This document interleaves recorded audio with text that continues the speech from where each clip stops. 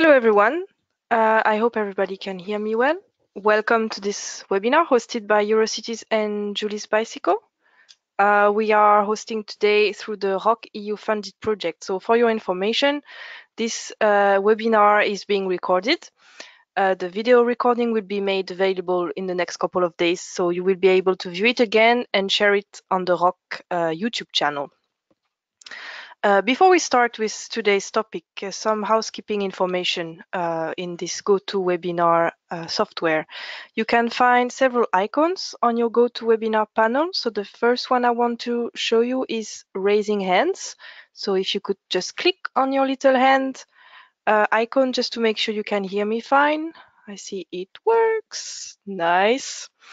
Uh, there is also a chat box uh, where you can you can use this to flag the technical issues you're having during the webinar, and we will try to answer you in the meantime. Uh, there is another box asking questions. Uh, you can use this to type your questions for the Q&A session at the end of the webinar.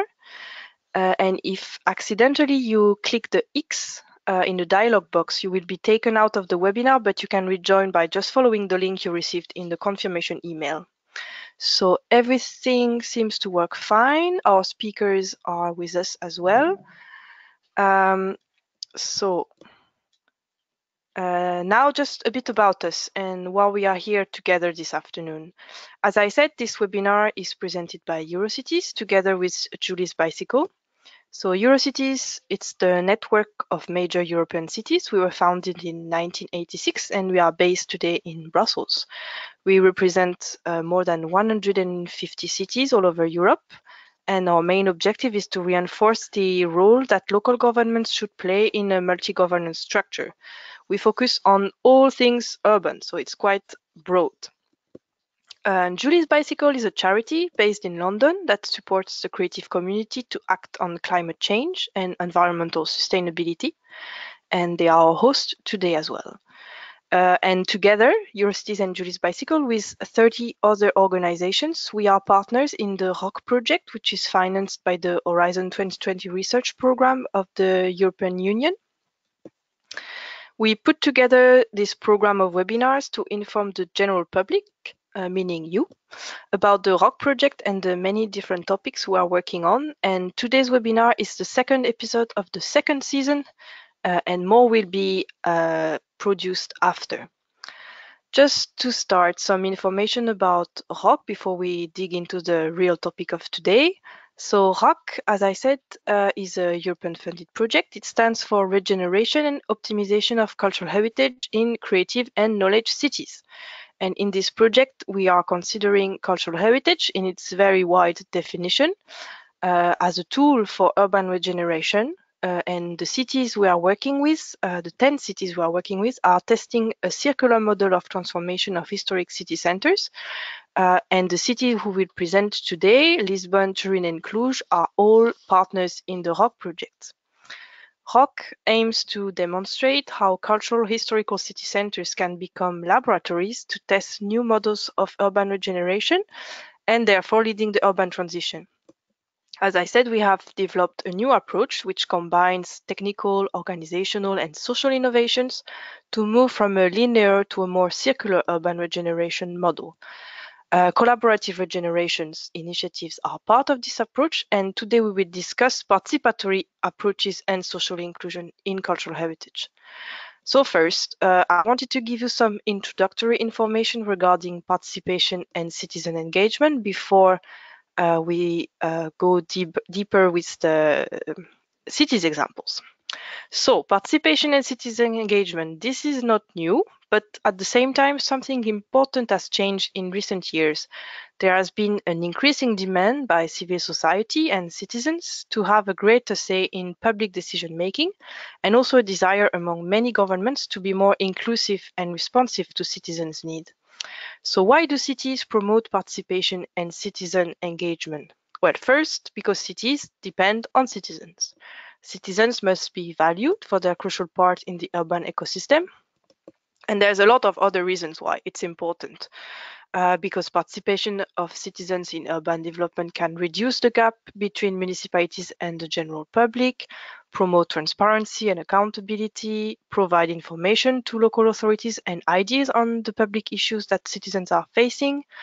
Citizens can also support municipalities in their planning decisions, uh, and together they can build more long-term and sustainable solutions that respond to the local needs and the local values and local interests. So cities are striving to build solutions with the evolving needs and nature of citizens at the heart. However, there is still a lot of myths and misconception regarding citizens' participation. Some say it can be expensive to organize, that it always involves the same people. It forces the government to implement the ideas that have gathered through citizens' participation. It only collects complaints, etc., etc. But cities today will show you that this is not true. Then, Culture in general and cultural heritage have proved to be great tools to engage citizens, but why and how? Because culture and cultural heritage uh, form vital part of the human experience in everyday life. They can bring communities together, empower, educate, and inspire. Uh, culture can provide a space to reflect, uh, contemplate, and critique today's society. It can also drive positive change in citizenship, and also something important, it's fun. So now today we have some context of the topic. Now we can dig into concrete examples of citizens engagement and participation that have been tested and implemented in our invited cities. Our first example takes us to Lisbon, uh, the neighborhood of Marvila, precisely in Lisbon. So as part of the ROCK project, Lisbon set up an interpretive center in the library of Marvila, where the local community participates actively by gathering knowledge about the cultural heritage of the neighborhood and making it available to the public. Uh, to understand this case study, it's also important to understand the local context of the neighborhood, and our speakers, Roberto and Alexandra from Lisbon, will tell you more about it. So Roberto is a postdoc researcher at the Institute of Social, Social Sciences of the University of Lisbon. And Alexandra works as Rock Living Lab and Interpretive Center Manager in the Lisbon City Council. And I will now make them presenters so they can tell you more about uh, the case study we are discussing. Uh, Roberto, and Alexandra, floor is yours. Can you hear us and can you speak as well? Uh -huh.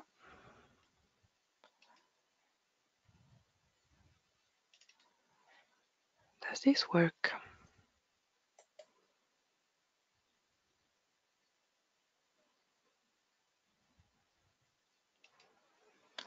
So I think there is an issue with their microphone. So maybe we can go on with the another. Ah, yes. Okay. Roberto, can you hear us?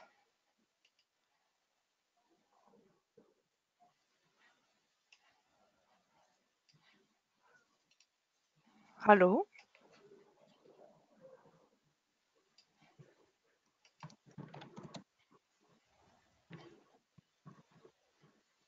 Can you hear, hear me? Yes, we can hear you.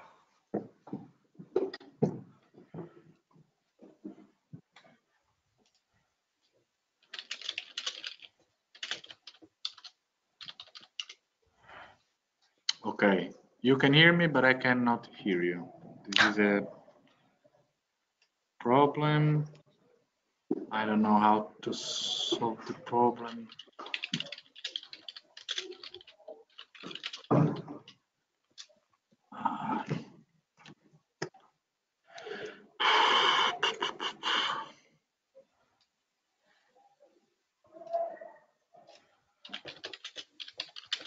Okay, fine. I can open my my PowerPoint with Alexandra. We are here from Lisbon. We wanted to hear you, so we are trying to solve, um, understand what's the problem.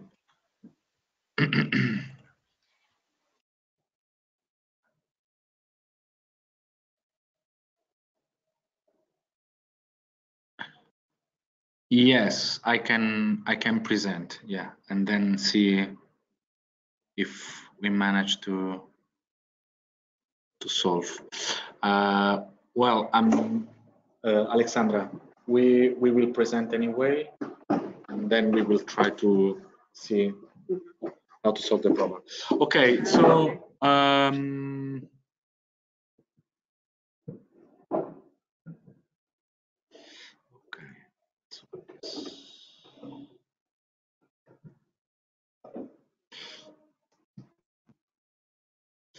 Okay, uh, so uh, it's uh, Roberto and uh, it's Roberto and uh, Alexandra from Lisbon. Alexandra is from the municipality of Lisbon, and I am from uh, the University of Lisbon. and we are both partners in the ROCK project. We are the local partners in Lisbon. we would like to present today in this webinar the experience um, Okay, uh, Cecile, I'm reading your your messages. Mm -hmm, mm -hmm, um, so, okay, so we wanted to present a little bit of the interpretive center of uh, Marvila and Beato. Marvila and Beato, as Cecile told you, is the area of intervention of the ROCK project. Uh, I know that Cecile already um,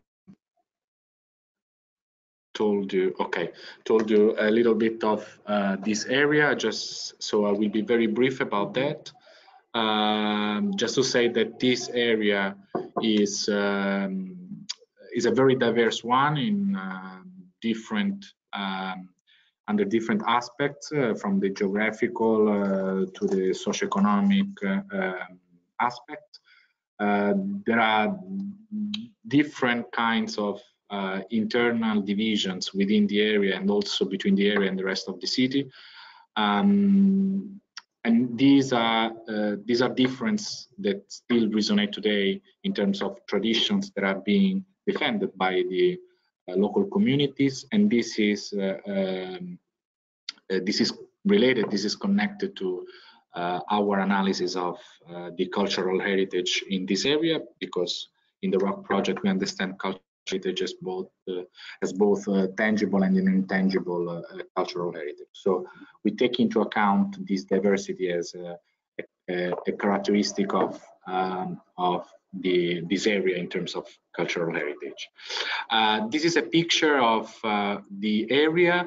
Uh, for those of you who do not know the area, this is a way that we tried at the university to um, provide a, an easier uh, way to uh, understand and to um, locate oneself within the area. Um, and uh, on your left, you have the city center of the city, the historical center, and on your right, you have uh, the um,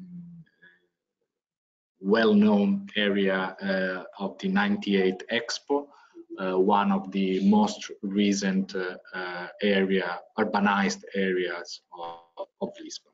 So basically, Marvila and Beato finds, um, and sorry, the area, the area of Marvila and Beato are stacked in between the historical center and this very new area. And during uh, the last decades, Marvila and Beato have received uh, much less attention by the public and private investments in the area. That's also the reason why the ROCK project wanted to um, tackle some of the issues, some of the challenges of these areas, also in terms of uh, regeneration of, uh, of uh, the area. Uh, so um, what we have done uh, through the ROCK project in the last uh, in the last two years has been to promote the municipality has promoted uh, initiatives of urban regeneration in order to um, uh, in order to upgrade uh, the area. And uh, mainly we focused in the northern part of this area which is uh, uh, an area with a new infrastructure that was built by the municipality of Lisbon two years ago which is a library. The library is not just a library it's a a, cultural center, is uh, an incubator of uh, uh, numerous initiatives in the area.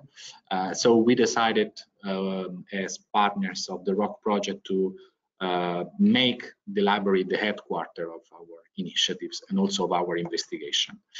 Um, so we uh, recently produced uh, um, and conducted a survey in this area.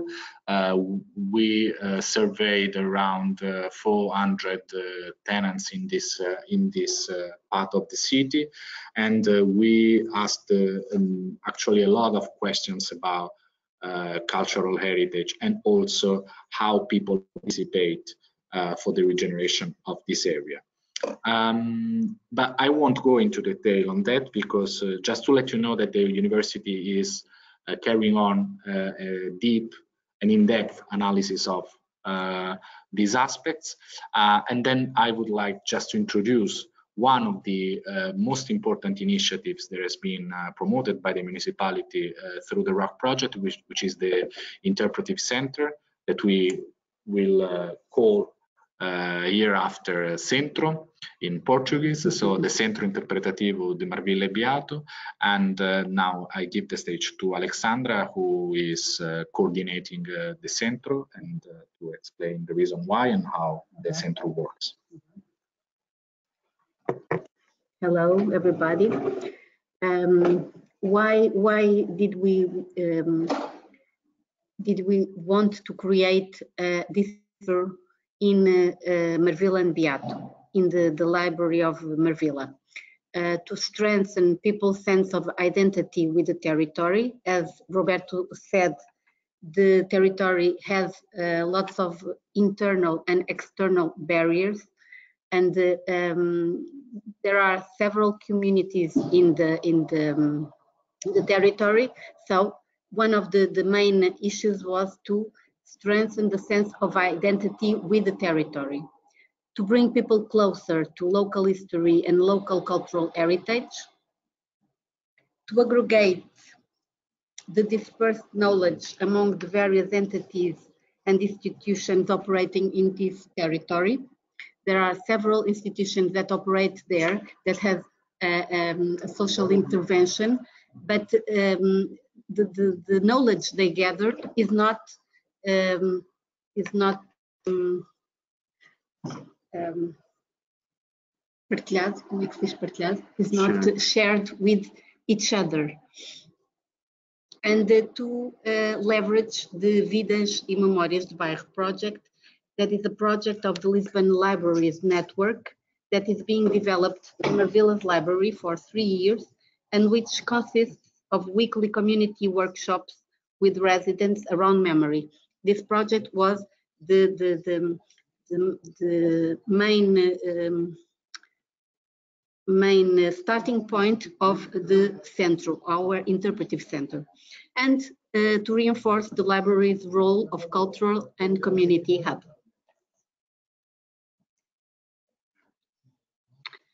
How did we uh, are how are we doing this? Um, the first step was to create an organizing committee, an organizing committee that represents the, the population of Marvila and Beato. So it, uh, its members are the local residents individually, people that were in the Vidas and Memórias project, and other people that are um, um, important figures in the in the community in the, the, the sense that they care for their uh, territory and they want to preserve the cultural heritage there. Second, the representatives of local institutions, those institutions that intervene in the area and that gather the knowledge, but uh, that we don't have um, a way of sharing.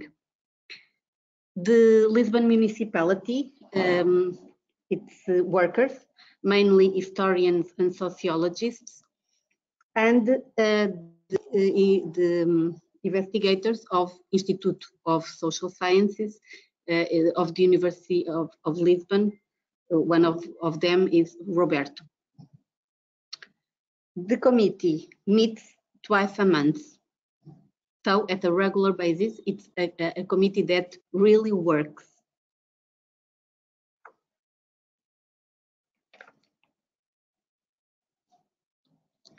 the approach to the design of the center. Um, I would like to frame the creation of this interpretive center because the choices uh, made were not at random. On the contrary, they were made taking into account three central ideas that I will call the central axes that have guided the design of the center. The first, citizen participation. The second, the dialogical approach to memory. And the third, third social museology. So these are the three main ideas that were in the basis of the implementation of this interpretive center.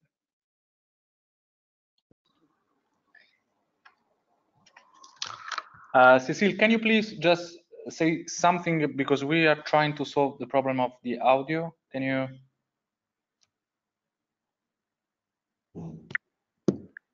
Can you hear me still? Okay, now we can hear you. Okay. Oh, okay, perfect. Okay, Fine. good. I'll let you continue now. Yeah. So, okay, uh, now going to the, sorry. Um, 10 minutos. 10, 3. Tá bem, eu. Sorry, we, we have now a new kind of software. So, uh, yeah, the approach is based on three, um, three main axes. Uh, Mhm. I will say something about citizen participation as a, I am a, uh, working on citizen participation as a researcher at the university. Just to say, I won't go into detail again, we don't have uh, enough time, but um, the ROCK project and our actions in Lisbon are uh, driven by the principles of uh, citizen participation, which have been uh, recently uh, uh, issued by um, several international and transnational uh, agencies and documents. This is one of the most known in Europe, uh, the Urban Agenda for the EU 2016, the Pact of uh, Amsterdam. And you can see that the principle of citizen participation is uh, uh, has been uh, massively incorporated in the in the mm, guidelines and prescriptions that the European Commission is giving to the cities.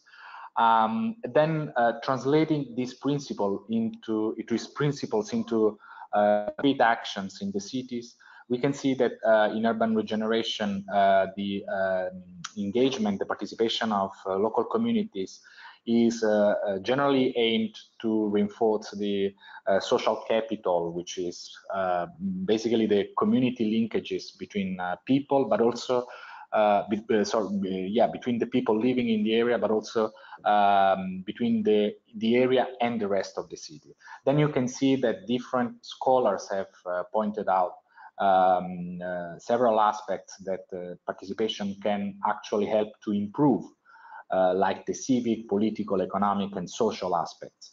Uh, but also, and this is something that uh, we want to highlight, given the characteristics of uh, Marvila and Beato, is all, um, participation in urban regeneration is also about mobilizing the efforts towards goals of social inclusion and also social justice.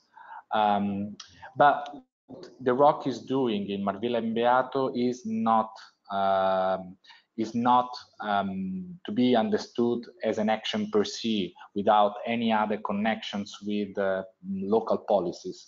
What I'm showing now is a map that has been uh, produced by um, the municipality of Lisbon uh, in 2010-2011, uh, which identifies some of the critical areas of uh, the cities where the local council uh, decided to invest um, uh, some additional funding uh, to the uh, more standard local policies and to invite local partnerships composed of um, NGOs and local communities uh, to mm, promote and to implement actions of uh, urban regeneration. This, uh, I want to now zoom in on this and uh, tell you that in the uh, rock area, the intervention area, we have actually some of these uh, identified uh, critical uh, neighborhood, critical areas. Actually, they are named priority areas uh, of the of the local council.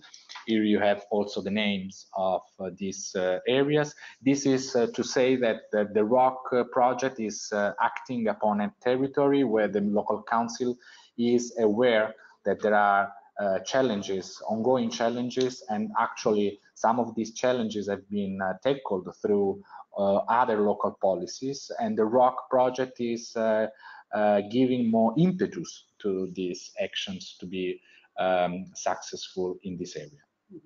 Uh, then I, we pass now to the second axis, mm -hmm. which is the dialogical approach to memory. Um, this, this project is all around memory, and memory is our second X in the, the design of the center. Memory of the people that live or lived here, memory of the places, memory of the local institutions. So we had to take into account memory studies and uh, since remembering is an individual act, for a long time, even in social studies, the social basis of memory has been neglected. Uh, Halbwachs, this one, is the, was the first um, to, to, present a conceptualization of memory as a collective phenomenon. He says that there is no such thing as individual memory what we remember as individuals is always conditioned by the fact that we belong to a group. And collective memory is the anchor of the group identity, ensuring its continuity in space and time. This is true, of course, but um, it is also um, a theory of social determinism because this, uh, this scholar has neglected the dialogical and conflictual nature of both identity and memory. For another stream of studies, the memory policies approach, memory as, as is a construct of the present. The images of the past are strategically strategically invented and manipulated by key sectors of society to serve their present needs. From this perspective, traditions are deliberately invented and spread by the political sphere by imposing an official memory. So in this approach, uh, the power is, is, is, important because uh, the present um, defines what is, uh, is uh, the, the official memory. For the popular approach, uh, for the popular memory approach, social memory is a space of station between different voices, each trying to impose its version of the past. Foucault is one of these thinkers who considers that alternative memories exist under the hegemony of dominant discourses, and that it is cru crucial to give a voice to those who have been silenced and marginalized in the dominant discourses. We view memory as the result of a dialogical process. So we have gathered some of the contributions of these scholars, but we, we we think that uh, memory is the result of the intersection of personal and social histories, conceiving the individual as an autonomous interpretive agent. The act of individual interpretation is nevertheless related to the cultural universe in which the individual is, is inserted. The construction of the past, although always on specific cultural context, is nevertheless shaped by the emotional experience and personal expectations of each individual. So we are we are going to um, interview um, the individuals. They they they tell us our their stories, but their stories have always a social context that is very important to be known uh, to interpret those stories. For our interpretive center, we hold this double assumption. Any act of representation of the past has always power relations in it. And the selectivity of memory is ine inevitable. We interpret the world and, and the past on the basis of our own experience. The uh, we arrive to the third X uh, that is in the basis of the design of the interpretive center. Um, and I, I will uh, pass through it um, more quickly. Um, from um, the traditional museology, uh, we have passed to uh, the new museology, and in the 90s, um, has has emerged a new um, form of museology that is called social museology. Social museology is a small-scale museology, but of social, cultural, and economic impact, which focuses in its action on the development of the person through the identification, study, and dynamization of the cultural heritage elements of a particular community through the use of participatory means. It is in the context of sociology that emerges the notion of participatory inventory. That is the, methodology we are using in, the, in our center. That we can define as the intervention of people and communities in the, in the identification and documentation of their cultural resources, which implies their recognition as elements of local and personal identity, that is, as cultural heritage. And those are some assumptions and characteristics of a participatory inventory. It is an open-ended inventory. It's unfinished, constantly evolving because it is related to a flexible and evolving community. Experts and communities are at the same level to decide the methods, principles, and objectives of each phase of the inventory process. It's easy, but we are trying to, to, to, to achieve this goal there is an equality between established powers, the recognition of the existence of a plurality of valid knowledge other than scientific knowledge, that is called the ecology of knowledge, and the new knowledge produced throughout the process will be the result of co-production and co-authorship.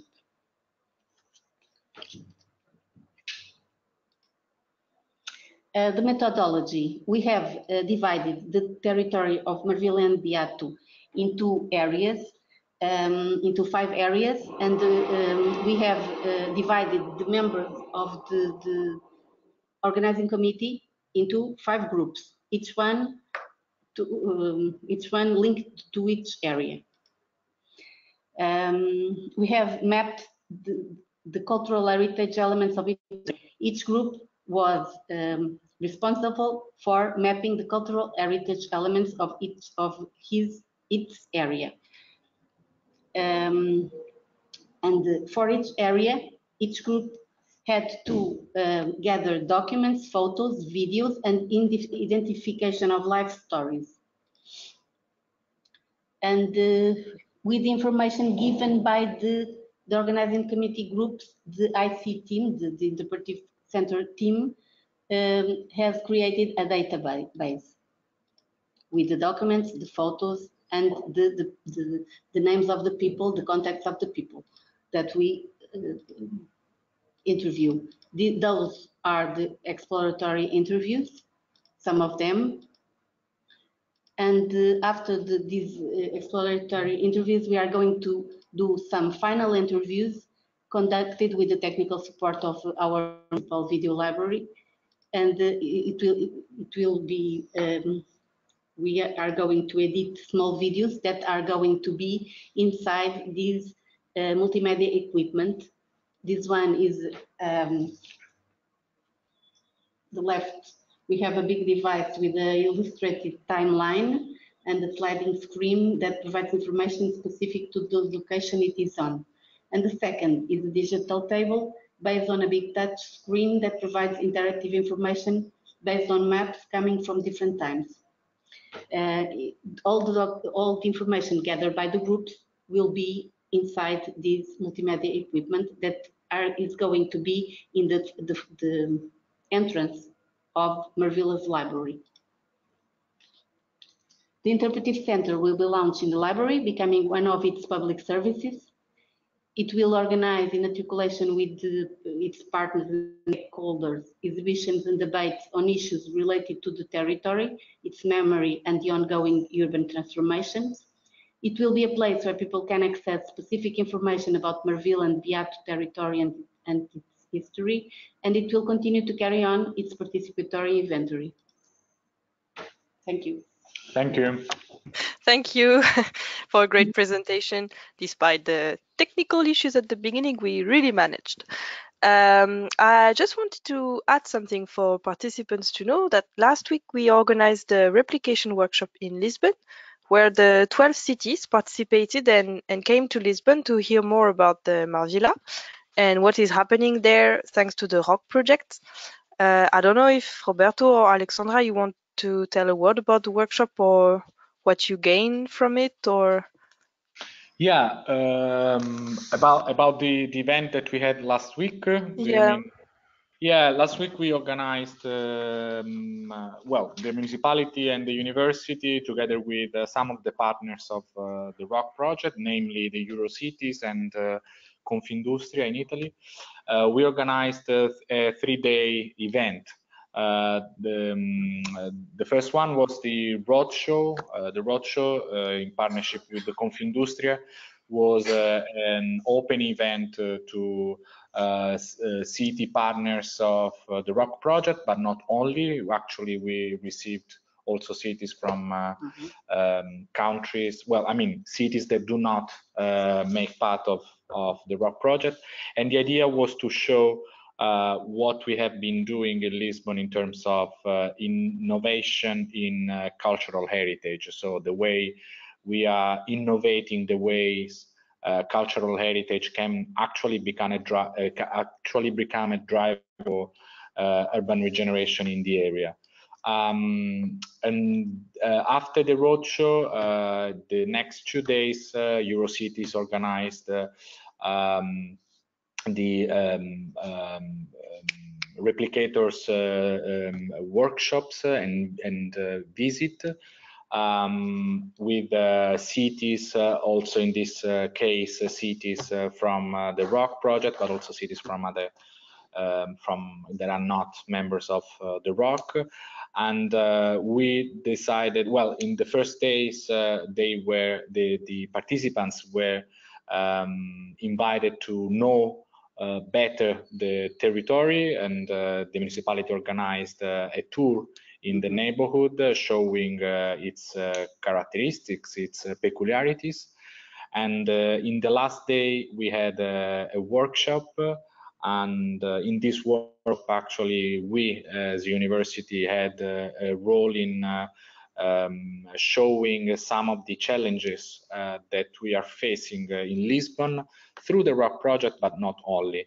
And uh, we focused on the uh, problems of uh, connection and disconnection, mobility, uh, basically, yeah, focused on uh, the mobility within the area and also between the area and the rest of the city, and how this impacts over the actual uh, chance for the local communities to voice into decision making and also regeneration initiatives.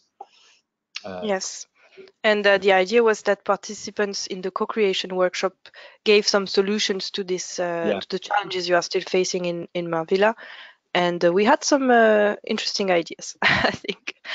okay, uh, I think we'll go on with the, the next presentation. Uh, thank you very much for this. We, uh, if you can stay uh, in the webinar still, because uh, we will take questions also at the end. Yeah. Uh, but the participants, you can already type the questions now in the question box of your GoToWebinar panel, uh, so we can uh, keep them at eye level and keep them close for the last part of the of the webinar. So our next example is the Casa del Quartiere in Turin. Um, and I will make Giulia Cerrato in a moment the presenter for this case. So this, uh, as you know, Turin was uh, deeply affected by the industrial crisis in the 80s, which left millions of square meters of abandoned industrial areas. But heavy investment in culture and knowledge uh, has been made, and Turin is, Turin is now a good example of how culture can change the profile of a city. So the Casa del Uh, are public spaces in the Turin neighborhoods, refurbished through collaborations between public institutions, private foundations, associations, and the citizens. Uh, from what I know, there is today an existing network of eight Casa del Quartiere all over Turin, but uh, Giulia, uh, who is also the communication officer of the network, will tell you more about the history of the network, what it does today, and how citizens are involved. And I also want to say that Julia has to leave after presentation. So if you have specific questions for her, you can type them already in the in the questions and uh, we will send them uh, to her by email and she can maybe respond directly like this. So Julia, I will make you now a presenter so we will be able to see your screen and hopefully uh, you will be able to speak as well about the Casa del Quartiere. Parfait. Your, floor is yours.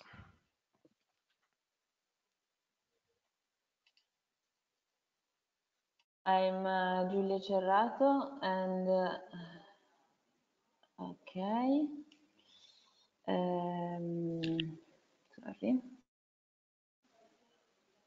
Well, uh, yes, I work for the Rete delle Case del Quartiere that is uh, uh, a network of uh, eight social cultural centers that are spread in the city of, uh, of Turin in eight different neighborhoods.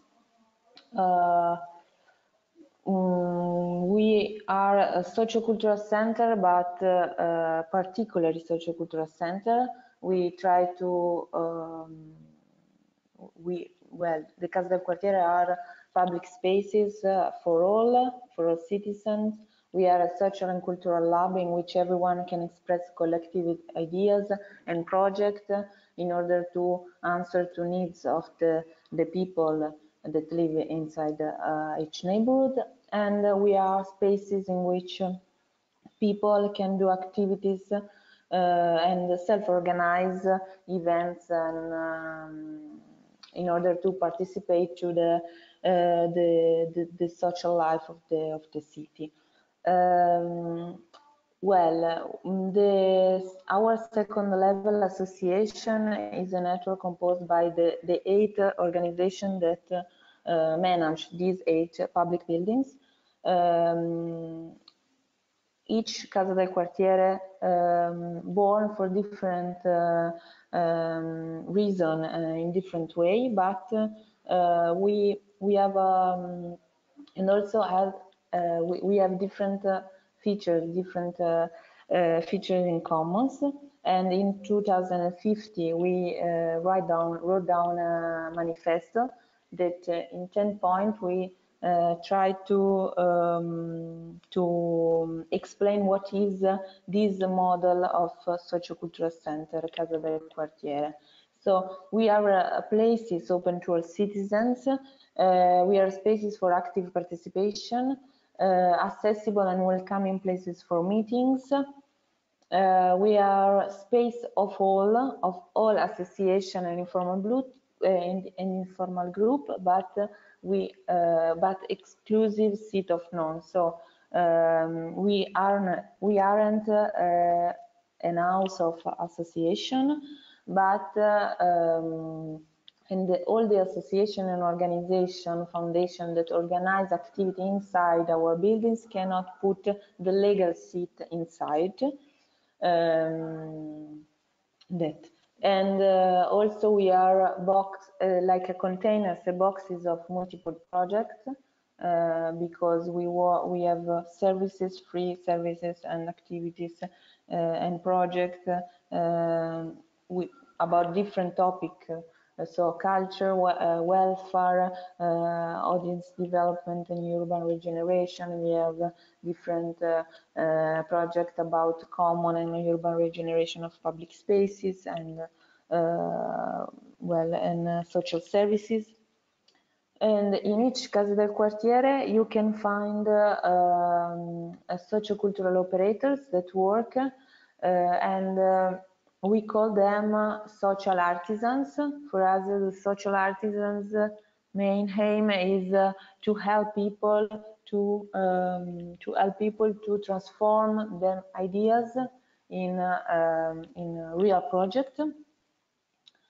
And also, uh, Casa del Quartiere are uh, places between public and uh, private sectors because uh, uh, we, um, we, the Casa del Quartiere are, the building is uh, public, but the, the, the management is from made is made by non-profit organizations, so private sectors, and we are in search of the right balance between economic autonomy and public support and we are place rooted in uh, in the neighborhood. Uh, each structure, each organization uh, also um, have a different governance. about the story of the Casa del Quartiere, um, the Casa del Quartiere born uh, 12, the first Casa del Quartiere born 12 years ago, but um, um, in the 1997, before the 1997, there was a um, special suburbs project, uh, Progetto Speciale Periferie, so urban policies for uh, the urban regeneration of the Turin suburbs, in which uh, the municipality of Turin um, made uh, four main actions, and in these in those areas, after some years start to uh, born these type of sociocultural centers. So the first one born in, 2000, in 2007 uh, in the south of the city in Mirafiori Nord, the neighborhood of the Fiat. Uh, the name is Cascina Roccafranca. And after, from 2009 uh, 2030, um, the other seven uh, Case del Quartiere open and um, well the about the mission governance uh, of these uh, these sociocultural centers. The community has a priority role in the definition uh, in, of the of each Casa del Quartiere actions. And um, the mission of each uh, socio each organization that uh, manage the, the centers are, uh, is uh, the mission is to generate a well-being for the neighborhood. And um, so we uh, work uh, with uh, over than four and with over than 390,000 inhabitants. So in the, this is the population of eight different uh, neighborhoods uh, of the city. Um, well, about the managing body, so the organization that manage these uh, sociocultural centers, we have, uh, no, sì. Prego. Sorry and so the about the the organization that manage these um, these um, sociocultural centers we have different eight different governance uh, and so we have one is an association one is a community foundation another is an atypical participative foundation uh, another one is a social cooperative another is a cooperative of workers CHUAS second level association and another one is a cooperative society. So it's really heterogeneous, uh, the, the legal forms of the of um, every every organization, and uh, um, we work inside every uh, inside every um, cultural center. We work with a lot of uh, different organization. So um, association, foundation, informal group, and citizens that organize cultural events or uh, social services and uh, initiatives. And um, and it, in the end, these uh, the number of the these third sector organization bodies are uh, more than three, uh, 300. Um, um, more than 300 that uh, collaborate continuously, so uh, weekly with the, with the, each sociocultural centers. And um, all the data that I'm showing you are part of social impact evaluation um, that uh, survey that we uh, did in the last uh, two years. And uh, um, we did this uh, evaluation also through uh, questionnaire survey that we uh, that uh, that that we give also to these um, association that uh, collaborate with us. And I want to show you a little video because um, about the about the the burning of the, the network, the local network Rete delle Case del Quartiere that born uh, in 2017. I hope that uh, it will uh, it will work with the subtitle.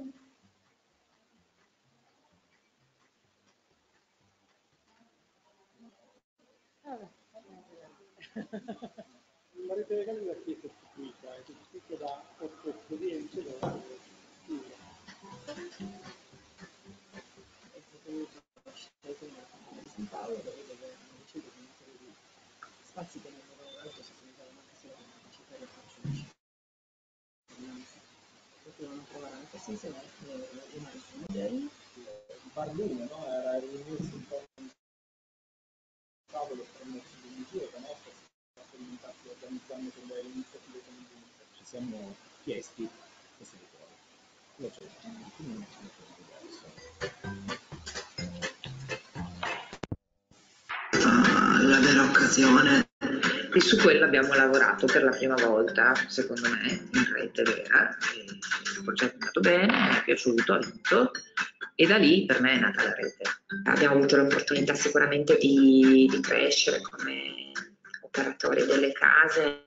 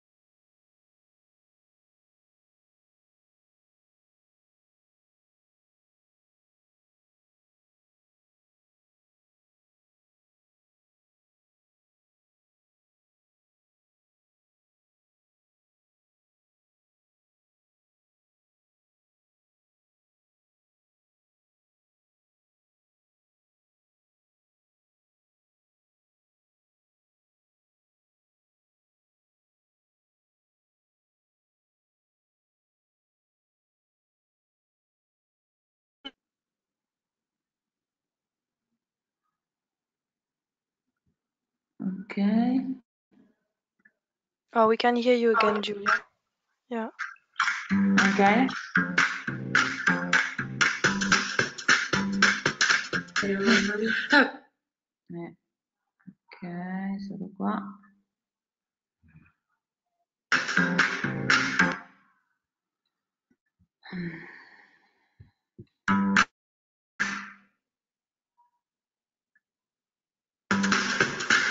Le case del quartiere non sono il posto di quelle associazioni, di quel gruppetto di associazioni o di enti, sono il posto in cui qualcuno si mette a disposizione di altri. luoghi e spazi che accolgono le proposte, le idee, le stimolano e in qualche modo poi aiutano associazioni, gruppi informali, singole persone nel realizzarli. ma in realtà si racconta troppo poco quartiere e del fatto che quello che sono le proposte sono plasmate sulle necessità del quartiere. Questo meccanismo crea un effetto generativo no? di, eh, molto forte, eh, permette a questi spazi di essere percepiti fino in fondo come spazi pubblici, non come casa di quell'ente, ma come casa di non si sa bene di chi. quello che si deve respirare quando entro qui dentro è un, eh, un'idea di prossimità con l'altro.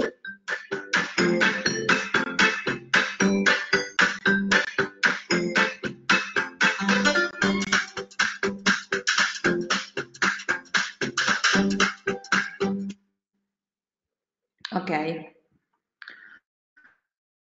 Uh, so, mm, so in the um, 2017, the uh, born the, the second level association of the local network composed by the eight um, orga- non-profit organizations that manage the, the Casa del Quartiere. Uh, the vision of this, um, this um, association is that uh, uh, we believe in a world where all the people uh, um, can cooperate in order to grow up their community, but uh, uh, not all the people, not all the citizens uh, um, have the tools to grow up the community. So we are here in order to um, help people to uh, increase uh, projects and uh, social services and also cultural cultural uh, projects. And um, the association, the network work uh, in order to spread good practices of social innovation and urban, urban regeneration through the neighborhood um, uh, to generate a, a better impact uh, on the city. Um, well, about the, the activity uh, that we have, I don't know if you can uh, uh, read the numbers of the graphs of the graph, but we we have, for example, more than 900 of um, cultural events every year, more than 500 uh, courses and activities, 46 educational activities, 46 uh, informal groups, and uh, 41 services and free desk of consultancy like uh, le uh, legal consultancy or uh, psychologist support and and other things. So uh, the activities uh, are managed by different uh, organizations. The, the organization manager of the sociocultural centers coordinate the action and promotes services, events, and, uh, and activities. The partner organization organize and promote the weekly activities, uh, continuous uh, activities weekly basis and um, we have also occasional activities that uh, like occasional activities like big events um, yes like big uh, events so i say. And also we have uh, commercial activities uh, for example we have six different cafeteria and restaurant services. And also we host private parties that is an additional income for the for the, the economy of the of the project. And um, about the ownership, this is uh, uh, interesting for the model Casa del Quartiere because uh, in the graph the first line is the total number of activities that we have, and the green part is the um, is the number of the activities organized by the manager uh, uh, of the organization manager. The orange part is the um, is, are the activities um, organized by the uh, the partners, the organization partners, and the um, blue one is uh, ah, the blue one is the number of the uh, activities that are organized by occasional partners, so people, private people or associations that uh, come come there to organize just one events or private events one uh, one time for a year, for example. So this is the idea of the co-production of the sociocultural offer that we have. Uh, totally I'm speaking about more than 82,000 hours of activities every year. So it's uh, an ongoing engagement for the people and uh, mm, for the for the neighborhood, for the city.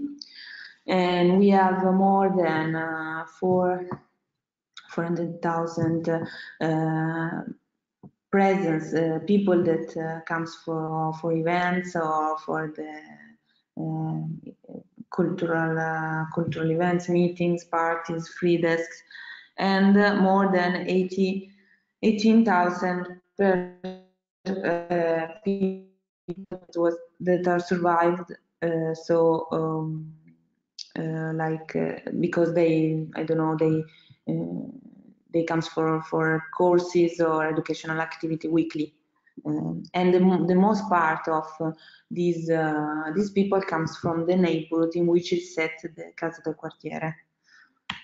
Um, about the accessibility of this activity, um, more than 50% of the activities are totally free, and um, but and this is because it's very important for us to engage also people that risk social marginality. So um, we, we have a lot of people that have both uh, social problem or immigrants, uh, disability problems, and uh, youngsters that didn't study, didn't work.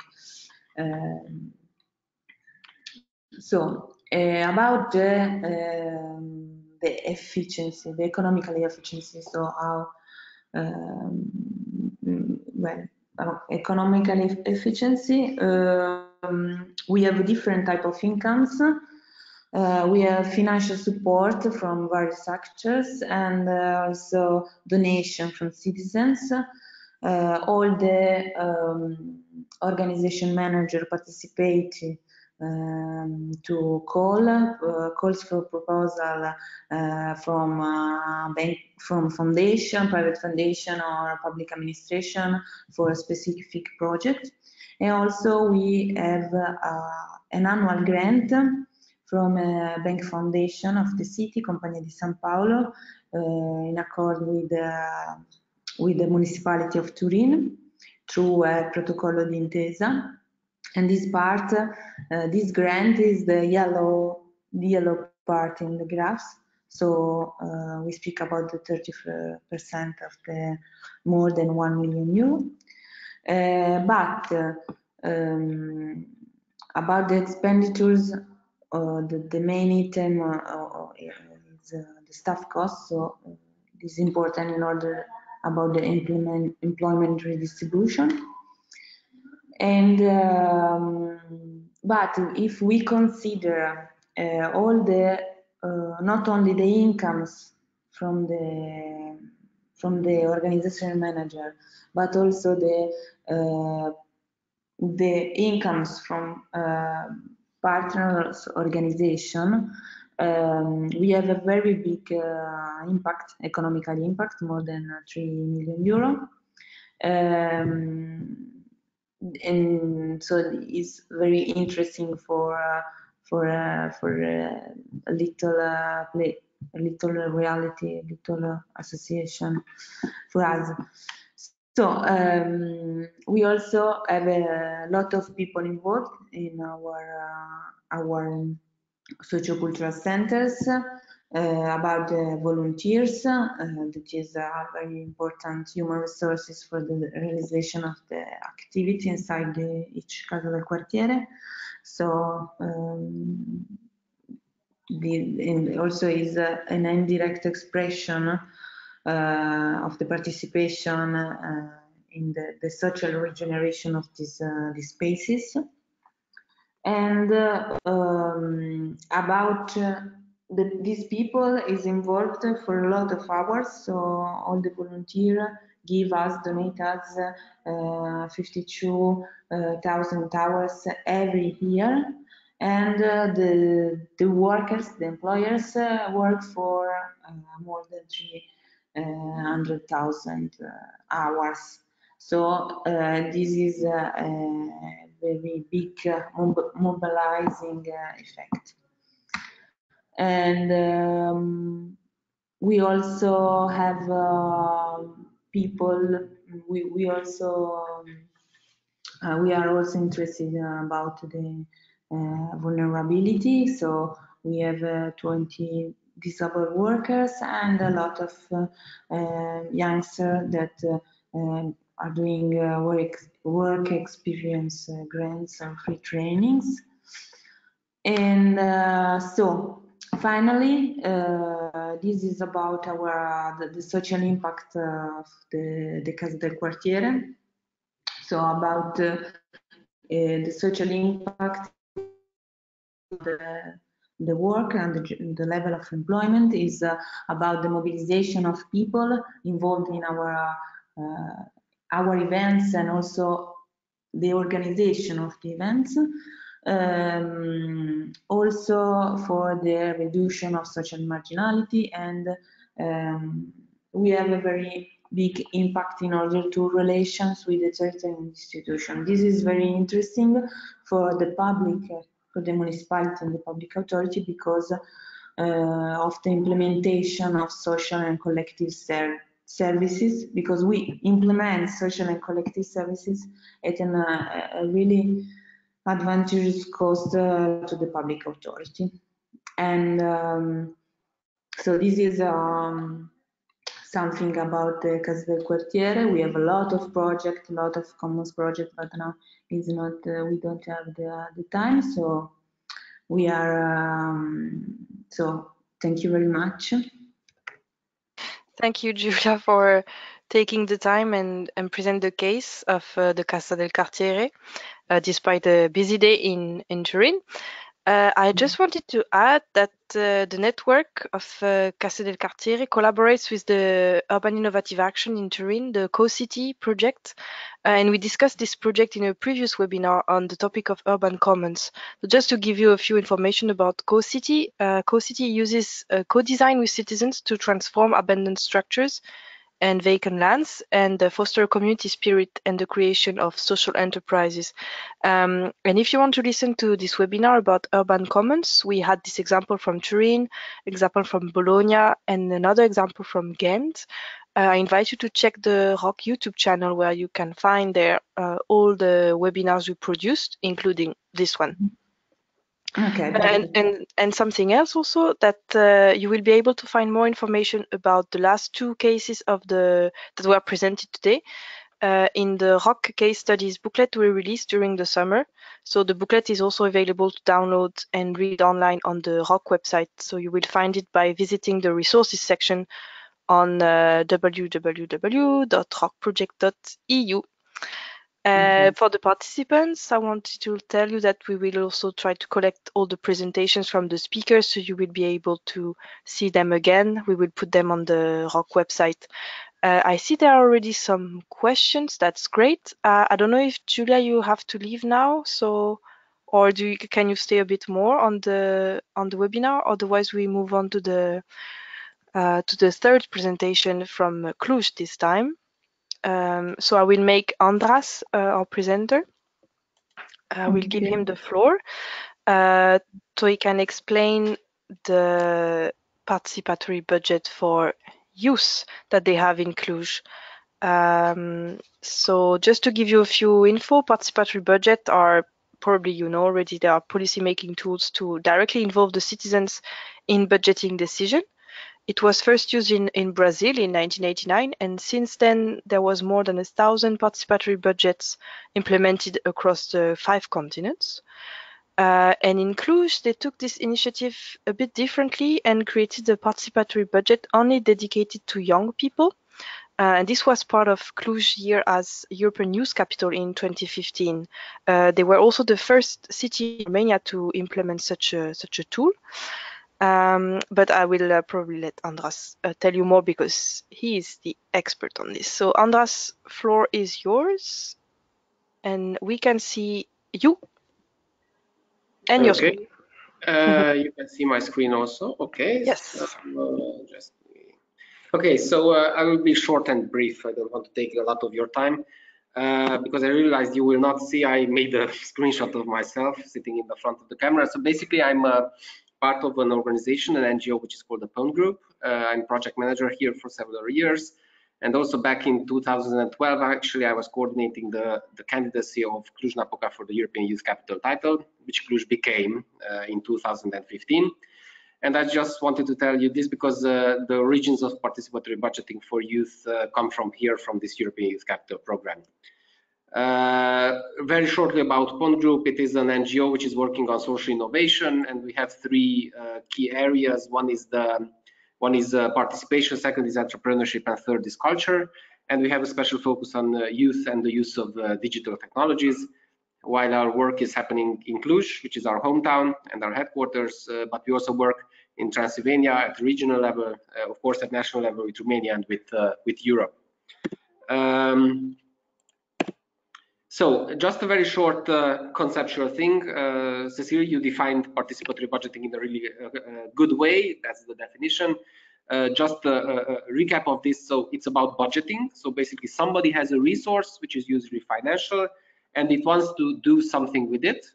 So it decides that it wants to allocate this source in a participatory manner. So it wants to involve some people who would co-decide on how to use the funding.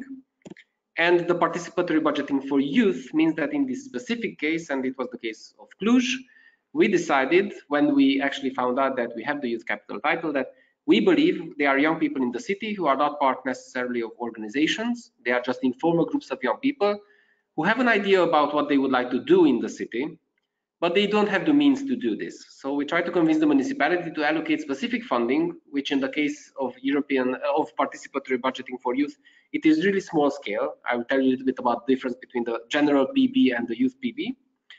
Uh, then the municipality had the funding available, so it allocated funding for this.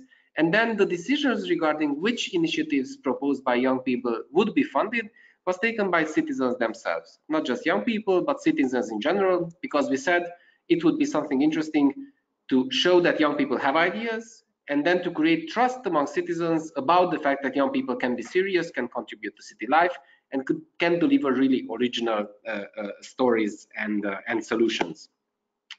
Uh, beforehand, we made a little small survey, and actually we found out, and this was this survey was targeting every young people. It wasn't just young people from organizations or uh, existing, uh, let's say, structural mechanisms in the city, but young people in general. And as you see, most of them said they would like to be part in any kind of interaction with young people, identifying some ideas and some needs, and adding to the to the to the city's life, uh, uh, being involved in, in, in providing solutions to these needs.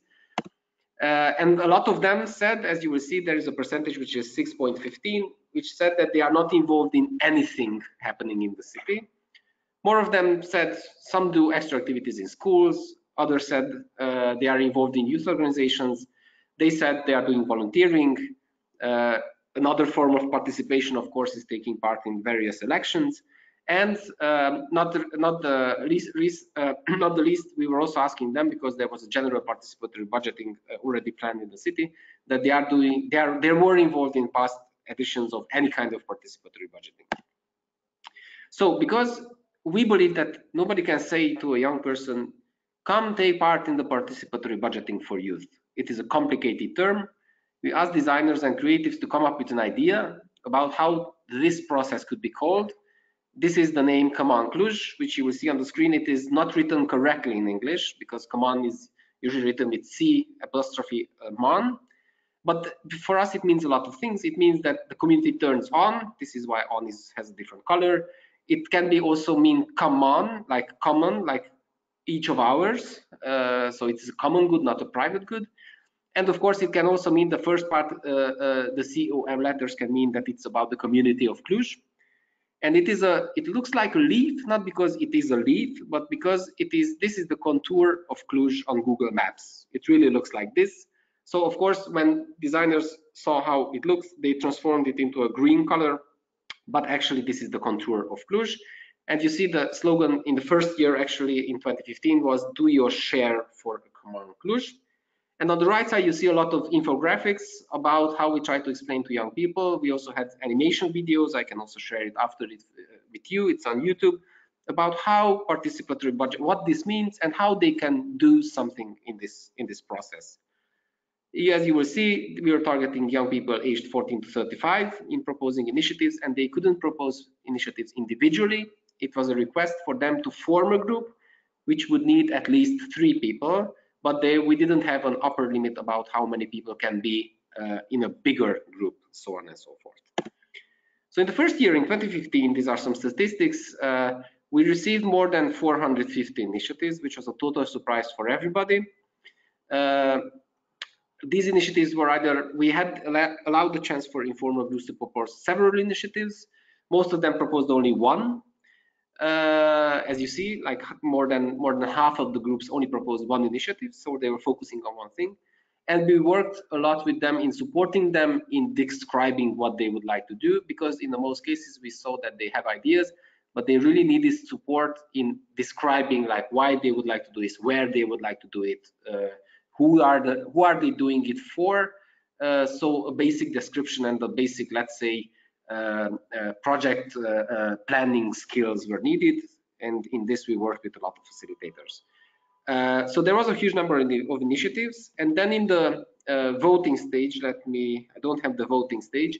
In the voting stage, we had more than 18,000 people in the city who voted, individuals. And because they had the chance to vote for several initiatives, they voted for, uh, uh, uh they give, gave around 48,000 votes in the, in the first year. It was really positive. And the only thing the municipality and ourselves did intervene in the process was just to check all the initiatives if they are technically implementable. So if there was an initiative proposing something which had any kind of legal framework which didn't allow it to happen for various reasons, it might be the place uh, or any kind of safety things, then we went back to that informal group and tried to work with them in order to improve or to modify a little bit initiatives in order to be able to go to the voting stage. Uh, in the first year, we managed to support around 130 initiatives out of the 450. This is a practical example of one initiative which uh, caught mostly the eyes of the press. This is an old tram. Uh, this was repainted by a group of graffiti artists. Uh, I forgot to say that one initiative could have received only 1,000 euro around in lei because it wasn't about investments and this is one real big, big change uh, between the general participatory budgeting and the youth one. In the youth one, the voted initiatives are implemented by the young people who proposed themselves. So they were small scale initiatives and not investments in infrastructure. Uh, this one was a small scale project. Uh, basically, they bought the painting and all the stuff. This tram was painted in a general color, and then with the approval of the municipality and the public transport company, and because they received enough votes, this tram was repainted completely although it's an old train tram, it is still uh, uh, uh, uh, traveling around in the city. So basically, the municipality dismantled a lot of other trams like this, but this one is still going. I think because it still catches the eye of people on the streets because it's an unusual form of intervention in public space. This is the logo of uh, the 2019 edition. This is still ongoing, and we will now implement the initiatives together with young people. They will implement with the support of us. And because we were discussing a lot about culture, uh, let's say heritage conversion and, and, heritage awareness in city centers, I just uh, highlighted you two things here, which were like priorities uh, in the call for activities.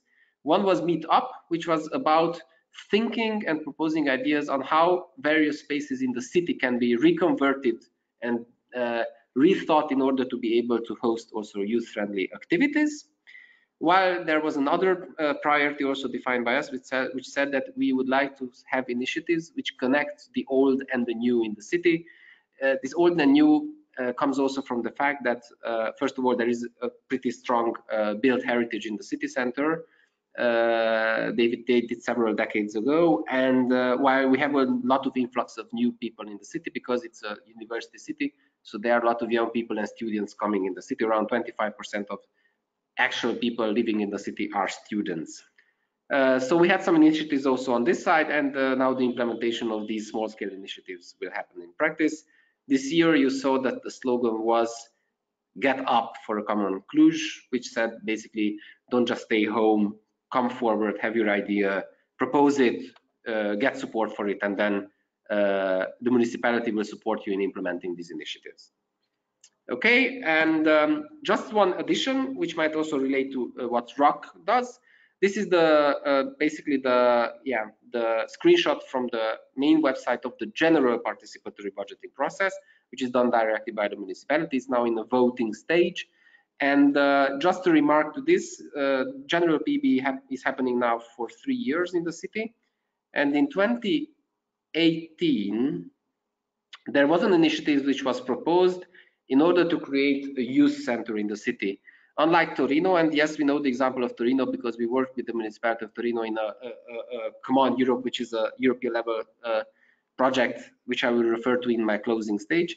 But basically, young people proposed in the general PB to have a youth center. They mobilized themselves, they voted, and then this building, which is in the main square of the city, and yes, where the, there is also KFC, part of this building uh, on the ground floor will be transformed into this youth center.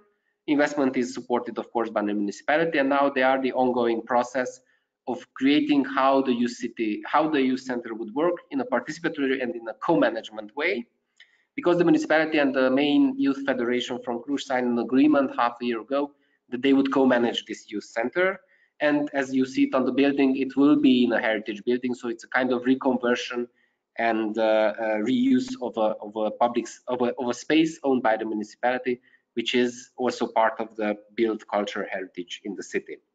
So just a final thing, uh, thanks to Com'on Cluj also, we did a, a, European project supported by Erasmus Plus. It uh, involved uh, seven cities, including Torino, uh, also Thessaloniki, Braga from Portugal, Varna from Bulgaria, um, Cascais from Portugal, and uh, I'm missing somebody, Maribor from Slovenia.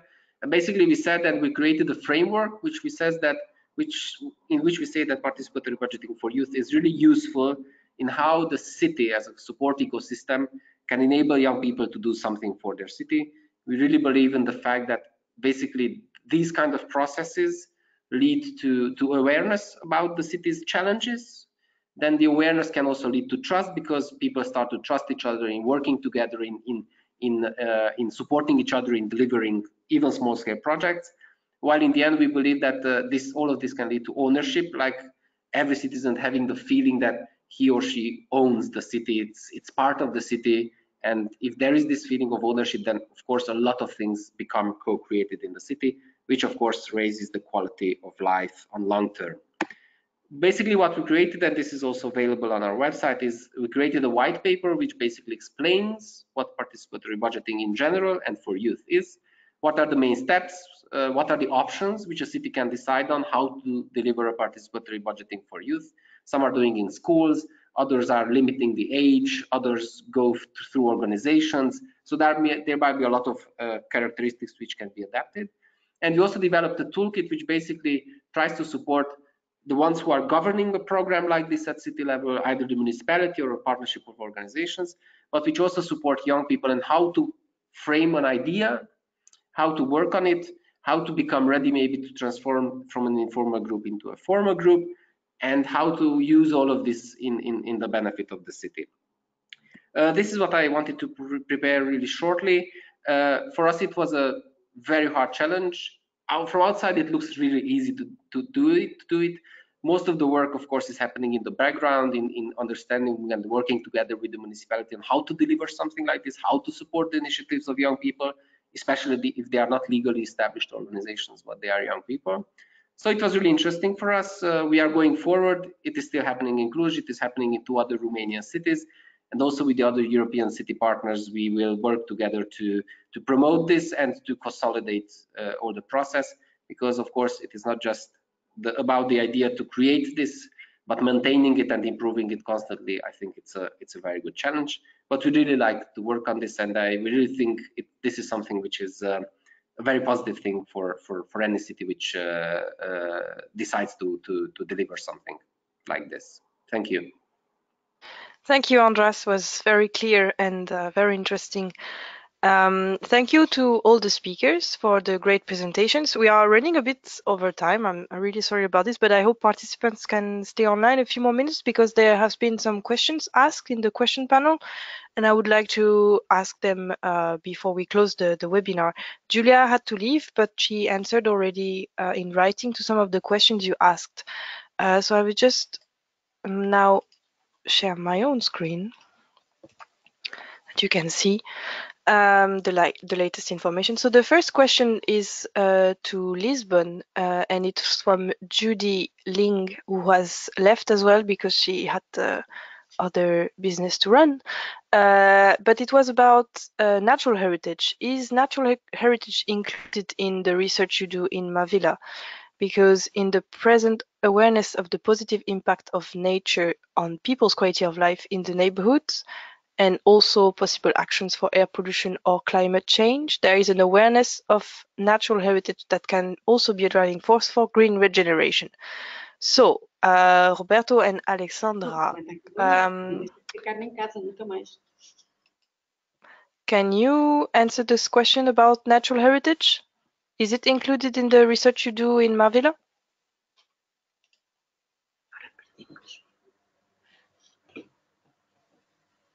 Hey, Cecile?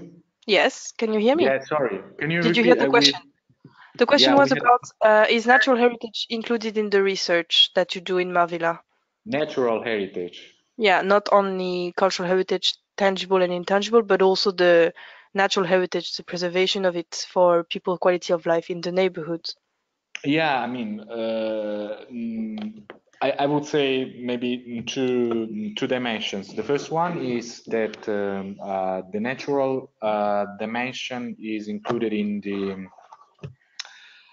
uh, in the analysis that the municipality is doing for the implementation of the initiatives and, and sorry and the university is doing in terms of research because of the big um, um, presence and uh, quantity of uh, urban voids in the in the area in Marvila and Beato and the urban voids in some cases are uh, abandoned green areas uh, which actually require uh, this kind of analysis, um, uh, specific analysis.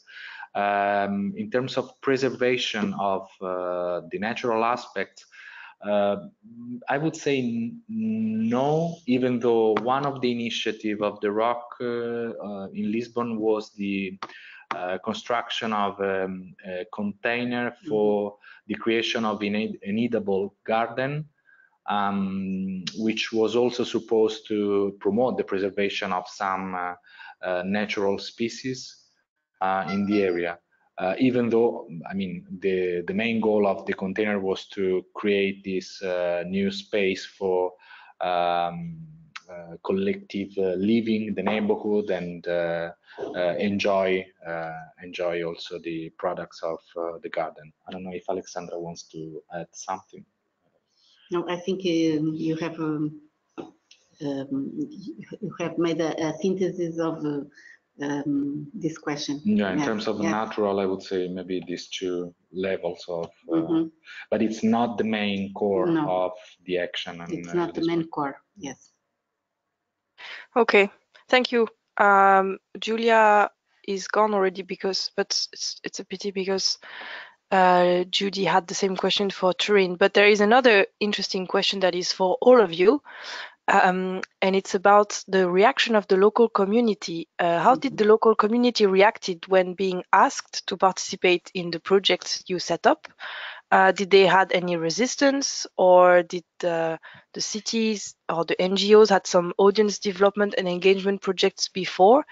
And this is from Daniela, um, who is still here, so she can hear you as well. So maybe uh, first uh, Lisbon, and then Andras. Maybe you can say a few words as well. I don't know if young people were reluctant to participate. Um, okay, so um, yeah, it, according to the design of the project, um, we were uh, compelled to create uh, a living lab in the in the area of intervention, and the living lab was supposed to include uh, both uh, associated and non-associated citizens. Um, and as I was saying, uh, we were saying in the presentation, the library of Marvila actually worked as a headquarter of uh, the activities, including the living lab. So we took advantage of something that was already um, going on and already existed in terms of uh, self-organization of the local communities.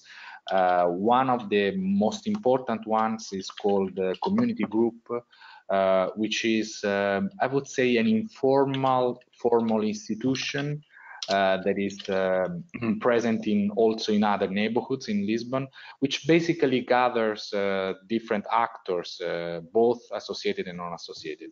So the Living Lab in Lisbon um, um, uh, was originated uh, and uh, took great inspiration by this uh, the community group which already existed in the in the area and i would say that at the same time they fed each other mutually uh, because uh, um, the ROCK was also one of the issues debate for the community group uh, which uh, um, gradually uh, took the ownership of uh, some of the initiatives uh, of the of the ROCK and also an understanding a better understanding of how the project worked and at the same time the ROCK also um, um, took advantage of uh, this dynamic uh, which was already in place uh, before the implementation of, of the project and also through through the project the reaction of the uh, the community um, uh, um, I mean, it uh, was ambivalent, uh, to be very mm -hmm. brief. on the one hand, there, mm, there was and there is still participation of some uh, citizens, uh, a part of the local community. Um, take into account that, uh, as, as we were saying in the presentation, we are we have been focusing uh, mainly around the library, in the area around the library. So uh, the uh, people living around the library know uh, the project, uh, know the ROCK, and they've been engaged more in the initiative. So uh, from their side, there has been a, a, a positive reaction. Uh, but at the same time, uh, there has been uh, in the last two, three years, there has been a grow a growth of initiatives in the area, mm -hmm. both funded by international funding, like in the case of the ROCK, and other projects funded by the H2020 are ongoing now uh, in the same area, but also local local activities. For example, the the program of urban regeneration that I mentioned before, the, uh, which is working in uh, critical neighborhoods in Lisbon, is also working in Marvila. So there is this uh, kind of uh, working of actors, funding, and institutions, which is likely to overwhelm uh, the local communities and we are uh, sensing in the mm-hmm. last mm -hmm. few months that uh, people are also getting um, um, confused uh, uh, about who is doing what, uh, which are the goals of the activities. Mm -hmm. um, so yeah, I would maybe I would say that mm -hmm. it's kind of ambivalent. We and we as a university, for example, are problematizing the approach that we are uh, implementing in the territory, taking into account also this aspect, mm -hmm. which mm-hmm. is fundamental to us. I mean, uh, what kind of uh, uh, action research we are doing in the in the field and how can we prevent people from dropping out from these initiatives mm -hmm. without uh, yeah, without overwhelming these people with a lot of uh, requests and uh, interviews and the surveys and so on and so forth. I don't mm -hmm, if mm-hmm. Alexandra. Yes, I think it's the, the big issue is is this one because this area is is um, full of investigators and um, uh, initiatives and projects and um, even um, though there is the, the community group and uh, those initiatives and, and are presented there and are uh, a little bit decodified for the people uh, to, to understand them um, people don't don't um, don't view the, the, the results immediately. So uh, in um, several cases, they, they don't believe that uh, something is going to uh, happen there. And um, they, they ask for concrete, con concrete no, for, um, yes, for um, concrete actions and not with uh, projects and investigations and things that they don't understand and that they they don't don't don't see the results. Yes indeed. I think the follow-up of these participation actions is very important that people need yes. to see uh, the implemented projects in the end so yes. i don't know if andras you had similar uh, examples or issues with uh, young people which is a different uh, target group just give back give me back the share, uh, the screen for just a second. Ah, okay. Hop, done. Uh, it was I, I just uh, tried to find uh, uh, one screen where you, one can see what kind of things we try to use. just three three comments, basic ones. I think that young people, if they are asked and in, in the right question is put to them, they will answer to it every time. It might be an answer or for a passive question, what what are your needs, your problems, or an active question, or what like you would you like to do the other thing I would like to, uh, to underline is that we cannot expect for young people to come to us. We have to go to them.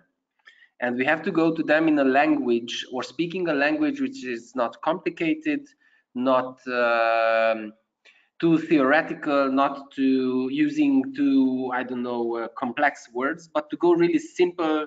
As you see, we used a lot of colors and designs. We use these ideas boxes and, and so on and so forth. So we try to reach them through their own mechanisms. And of course, because I'm also already 48 years of, years of age, it wasn't me going to them. We created a group of facilitators, a little bit similar. Like I also know that in Torino, they are working a lot with, with, with community engagers. And with the, you need to do this. And then you need to go to their place.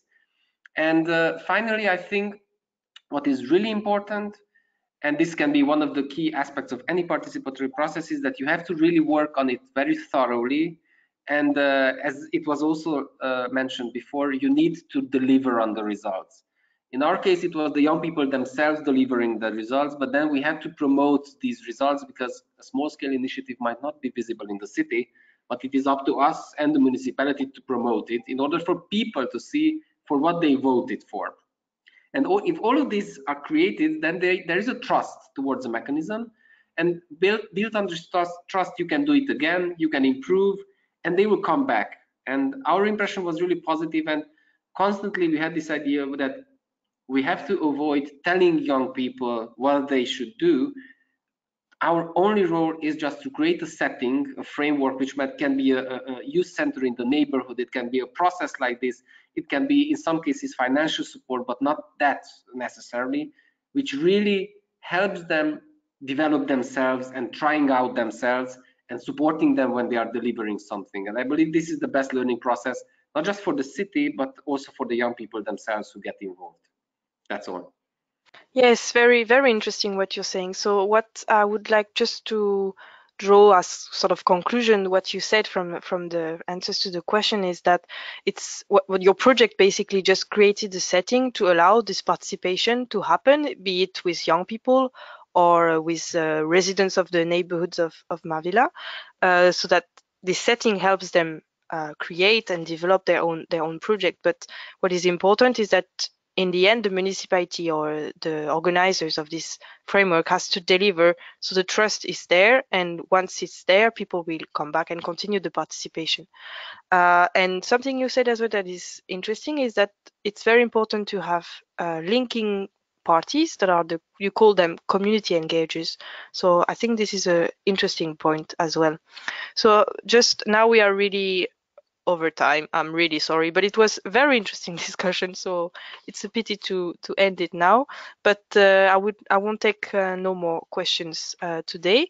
Thank you all very much for having attending this uh, ROCK webinar. As I said, it was hosted by Eurocities and, and Julie's Bicycles in the context of the of the ROCK project. We have uh, next webinars planned, uh, and the next one will be in November try to share my screen again so you can see the dates and the topic. Up. The next ROCK webinar is planned, so I said on 14 November, and this time we will focus on culture as a rocket fuel for urban regeneration, looking at uh, uh, different cases and trying to have a critical look at this. You can already register, the link is open and you can find all the information on the ROCK website. If you want to receive the news from the ROCK project and be informed as well about the next webinars, for instance, you can subscribe to the ROCK newsletter by visiting our website, rockproject.eu.